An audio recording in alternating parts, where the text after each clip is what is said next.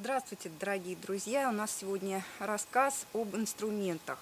И вот посмотрите, пожалуйста, это плоскорез, а это полольник, стриж его называют, но он одновременно еще и плоскорезом тоже может являться, потому что, видите, а, такие у него полотна достаточно острые. А, чем отличаются эти инструменты от обычных? Посмотрите, какие у них коротенькие ручки. Это очень удобно для работы а, ребенка на вашем участке. Вот многие же жалуются, да, что дети не хотят работать на участке, ничего не делают, им ничего не интересно. Вот посмотрите, если вы специально для них а, приобретете вот такие вот инструменты, им наверняка понравится и захочет что-нибудь э, поделать на грядочке или там на кусочке земли, которую вы им специально выделите. Работать очень удобно благодаря вот такой вот специальной ручке.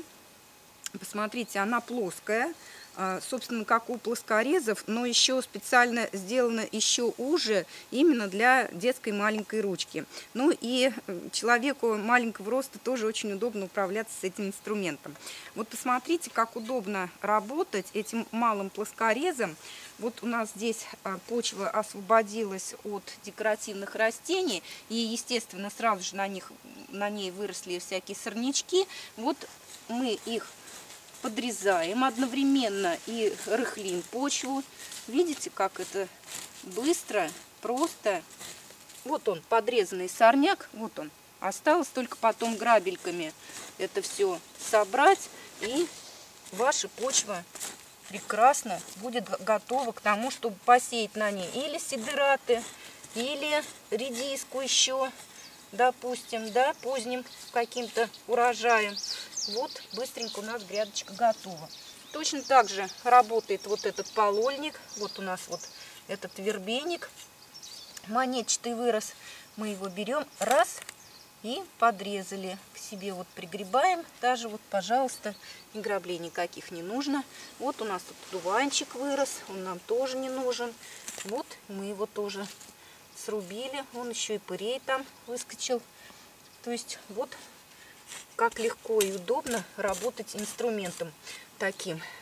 Ребенку наверняка очень понравится управляться с этими миниатюрными плоскорезами. Пойдемте еще посмотрим, как удобно ими работать между многолетними растениями, которые достаточно тесно посажены. Вот вы видите, какое узкое здесь полотно сделано специально для того, чтобы можно было проходить между кустами. А уж не говоря про этот миниатюрный плоскорез, он тоже соседние растения ничуть не задевает, а именно э, только сорняки. Вон у нас, пожалуйста, там чистотел вырос, да?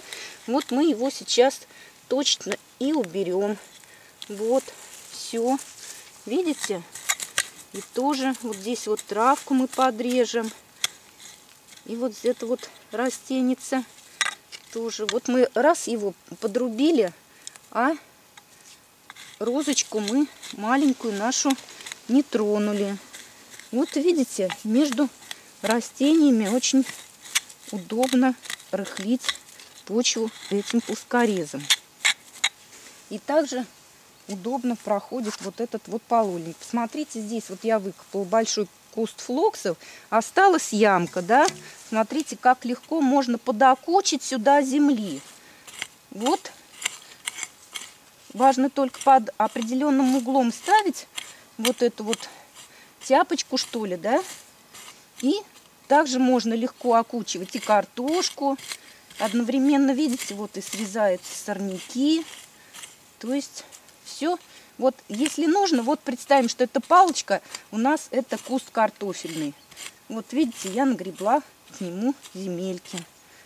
Вот, пожалуйста, там какие-то луковки выковырялись. Мне тут очень тесно все посажено. Весной все расцветает. Ну вот, видите, какие полезные инструменты. Это полольник, это малый плоскорез с миниатюрными ручками. Я думаю, очень полезные приобретения в вашем хозяйстве.